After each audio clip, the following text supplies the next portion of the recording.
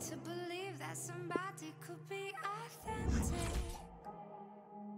I'm a cynic, my harshest critic.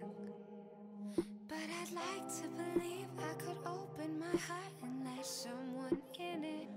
Seems like everybody's moving mouths, but I don't feel their words. I find it hard to love because God love to hurt.